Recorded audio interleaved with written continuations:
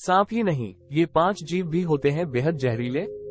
Number one गिला मॉन्टर छिपकली के प्रजाति का ये जीव यूएस और मेक्सिको में पाया जाता है, जिसका बाइट काफ़ी दर्द दे सकता है।